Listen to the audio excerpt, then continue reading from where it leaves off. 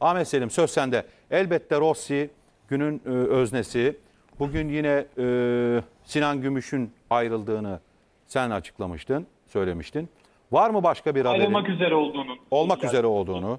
Var mı başka bir e, bilgin? Rossi üzerinden devam edelim. Arkasını zaten e, sana soruda sorabiliriz. Tabii transfer gündemi oldukça hareketli Fenerbahçe'de. Hep de söylüyoruz gelecek oyuncular kadar gidecek oyuncular da kritik. Hatta Fenerbahçe'nin hamlelerinin şu ana kadar gecikmesinin temel sebebi bu gidecek oyuncular. Önce şunu bir vurgulayalım. Hani durumun kritikliğini anlatmak, vurgulamak açısından. Henüz Fenerbahçe kime Avrupa'da lisans çıkartabilecek yani UEFA kadrosuna yazabilecek e, özgürlüğe gelmedi. Uğraşılıyor. Samatta'nın satışı çok önemli. Bunun için çok büyük mesai harcanıyor. Bir şekilde Samatta konusu çözülürse çok daha rahat adım atılacak.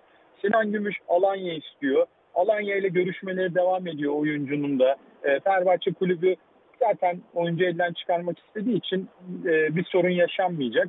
Sinan Gümüş Alanya'ya gidebilir.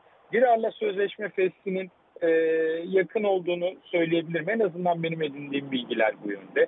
Bunun dışında Samatta ile ilgili ya aslında ilgilenen kulüpler var ama tabii rakamlara gelince iş bu ilgiler ciddiye dönüşmüyor çok fazla. Ama her an bu konuda gelişme yaşanabilir. E, Caner'le ilgili Caner Avrupa'dan teklif bekledi. Fakat o teklifleri bir türlü bulamadı. istediği seviyede bulamadı. E, bunun ardından da Türkiye'ye geri döndü. Karagümrük'ün oyuncuya ilgisi vardı. Şu anda bu ilgi devam ediyor mu etmiyor mu biraz da artık Karagümrük'ün kararı olacak. E, bunun dışında Çaykur Rizespor'un ilgisi var.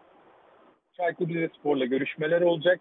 E, Birçok oyuncuyla ayrılacak. Gelecek oyuncularda forvet konusunda şu anda listenin başında Diego Rossi bulunuyor. Los Angeles e, Futbol Kulübü forması giyen Diego Rossi konusunda Fenerbahçe aşama da kaydetti. Zaten biz burada Türkiye'de bu ismi bu haberi paylaştıktan sonra Amerika'daki kaynaklar da e, lig kaynaklarından bu durumu doğrulattıklarını ifade etmeye başladılar. Diego Rossi'yi Fenerbahçe muhtemelen kiralayacak satın alma opsiyonuyla. E, tabii MLS'den MLS'ten oyuncu almak e, biraz farklı. E, o yüzden süreç tam her zaman planlandığı gibi gitmeyebiliyor.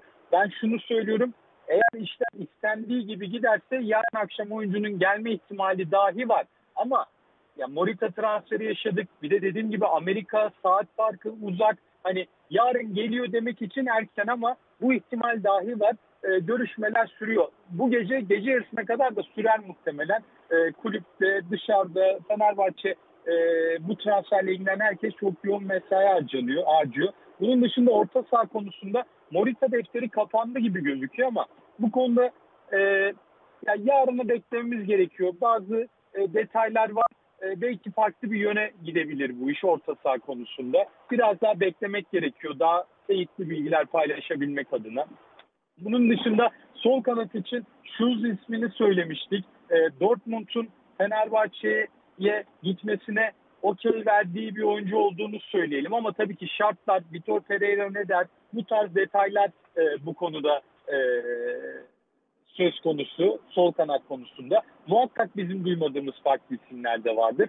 Sağ kanat konusunda adım atmayı düşünüyor ama bu en son seçenek olarak söyleyebiliriz bunu. Yani bütün planlamanın sonunda eğer imkan olursa adım atılacak bir durumdan söz edebiliriz. Ve bu bahsettiğim UEFA'nın getirdiği şartlar sebebiyle Fenerbahçe ligde oynatacağı Avrupa kadrosuna yazmayacağı transfer de yapabilir. Yani bu kesin olacak değil tabii ki ama bu ihtimalde söz konusu. Çünkü UEFA'nın şartları bu satabildiğin kadar alabilirsin şartı Fenerbahçe'yi ciddi ölçüde zorluyor. Ama dediğim gibi şu anda gündemin en sıcak ismi. Eski isimlerden zaten Kolasinaç'ta pürüz çıktığını söylemiştik. O isim gündemden çıktı artık. Tabii ki yeni gelişmeler olabilir ama henüz böyle bir durum söz konusu değil. Bu şekilde transfer gündemini özetlemiş olalım. Ama Diego, Res, e, Diego Rossi konusunda Fenerbahçe bu transferi bitirmeye hiç de uzak değil. E, kısa süre içerisinde daha somut bilgiler hani transferin gelişimine dair daha somut bilgiler de paylaşacağız gibi duruyor sevgili Aykut İnce. Evet, e, teşekkür ediyoruz arkadaşımıza. Şimdi Fenerbahçe'de de tabii aslında Sörlot konusunda çok e, enerji harcadı. Ama görünen o ki bir santrafor transferi yapmayacak gibi Ha belli de olmaz tabii. Fenerbahçe bu. Her an her şey olabilir. E, Rossi, Diego Rossi konusunu zaten açıkladı arkadaşımız. Hocam buyurun. Rossi ama e, MLS'te çok e, epey bir bonservisi var onun. Nasıl getirecekler, nasıl alacaklar. Artı bir de artık o taraflardan gelenlerde bizde biraz bir süreçte fazlalık oluyor. Şu anda siz hemen e, Fenerbahçe alacağınız oyuncu daha çok Avrupa'dan gelip hemen oynayacak tarzda bir oyuncu almanız gerekecek. İşte şeyin peşine de koştular. Orta sahada Japon Santa Clara'nın İsmail Başkan. Moritan. Moritan. İsmail Başkan'la da ben epey konuştum. Bugün de biraz yazışmalar yaptık. Bizim Stuttgart'tandır o. Yani iyi tanıdığım birisidir. Santa Clara'nın da hisselerine sahip en fazla hisselerine. Orada o, bu işlerle uğraşıyor kendisi. Ee, şu anda da hala görüşmeler bitiyor. Ahmet'in de dediği gibi yarın herhalde e, bir e, anlaşma olabilir ve hatta son aşamaya gelebilir. Sıkıntı bir- ne acaba? ya ekonomik oluyor tabii haliyle. Oyuncu vermek istiyorlar. Fenerbahçe'de oyuncularını çıkarmak istiyor. Belki e, neydi? E, Uruguaylı stoper. Şimdi ismini çıkaramayacağım. O çocuk- Lemos, Lemos. Ha, Lemos'u belki verebilirler e, oraya onun üzerine para falan. O şekilde bir görüşmeler olabiliyor oluyor galiba. E, Schulz geldi. Nico. Nico Schulz. E, Berlin'den falan bildiğimiz bir oyuncu tabii. Hoffenheim. Sonra Dortmund. E, Schulz'u transfer ederlerse sol taraf nasıl olur biliyor musun? Aykut. Otoban. Al- Almanya'da biliyorsun otobanlarda şey yok. Sürat tahdidi yok. Basıyorsun gaza gidiyor. Evet. Schulz. Schulz öyle öyle bir oyuncu.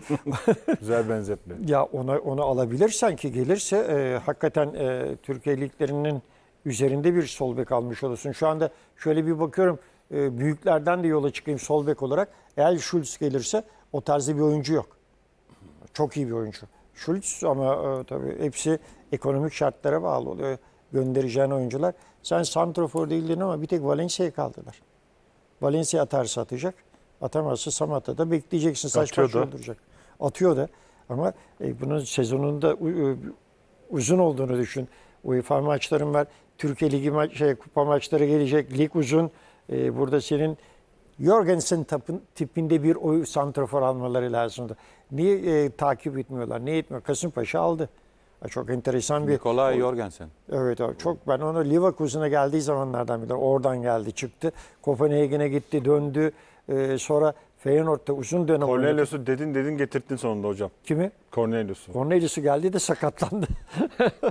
Demek ki ama şey Ya en e, azından milli araya denk geldi. Fenerbahçe'de şunu e, vurgulamak lazım. En son Altay'a karşı izlediğimiz maçta Altay bir kere çok dinamik bir takım. Çok kora kora oynayan bir takım, kavgacı bir takım. Yalnız e, Samuel'le de Samuel ve Ferdi'den e, hoca defansif yönünü de kullanmaya başlamış. Yani ben o kadronun Kaleci de ben kaleci de beğendim hocam.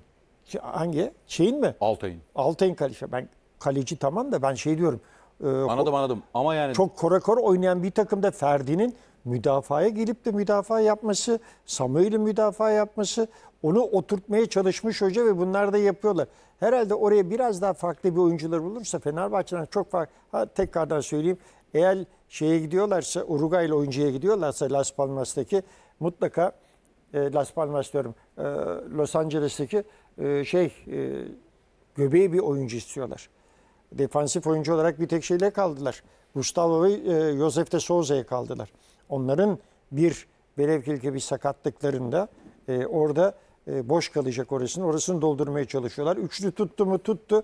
E, yavaş yavaş da gidiyorlar. Hiç kimsenin vallahi hocam düşünmediği Tisserland Tisserand oturttu Yıldızı gidiyor. pa. Şimdi bak çok güzel bir yere değindi Serdar Hocam. Kimsenin önemsemediği, burun kıvırdığı. Hatta hatırlayın bak Emre Belezoğlu Tisserand için e, çok iyi bir stoper demişti hatırla. Evet. Tisserand'ı kazandı Fenerbahçe. Bir. Bence Ferdi Kadıoğlu'nu kazandı Vitor Pereira. İki. Bence Ener Valencia'yı da kazandı. Ener Valencia'yı da kazandı. Üç. Bak Tolga Tezcanoğlu doğru bir şey söylüyor yönetmen. Gustavo'nun morali bozukluğu bence onu da kazandı. Dört. Bir tek şimdi Mesut kaldı. Yani Ben eğer sakatlanmasaydı bir kişi daha var kazandı diyebileceğim. kim? Mert Hakan. Mert Hakan Ben onda yaz, onda yaz. kamp döneminde e, Beş. e, şey e, neydi öbürü İtalya'ya verdiler kiralık. Orta sahada Zayt. Zayis. Zayis. Zayis'i de- Zayt da gir, girdi dün oyuna. Zayis'i ama bundan evvel oynatıyordu. O tabii, direkt tabii, oynatıyordu. tabii, tabii, tabii. Yani Zayis'i Samuel'i kazan. Bak tekrar söylüyorum. Dünkü oyundan yola çıkalım. Muhammed'le Arda'yı Onlar Bravo. zaten onları ayrı. onlar zaten Onlar ayrı. ayrı, konuşmak Tamam ama lazım. Muhammed Ne, oyna. ne dedik? Üreten futbol değil mi? İşte adam geldi üretmeye Evet, başladı. haklısın. Onları bak. ayrı konuşmak lazım. Onlar için Fenerbahçe'de bir son dönemlerde bu tarzda gençleri hiç görmedik. Sadece kupa maçlarında attılar biliyorsun ama öbür türlü görme.